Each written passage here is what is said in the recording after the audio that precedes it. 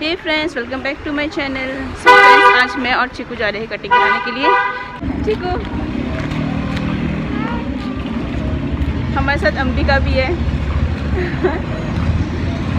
चलो।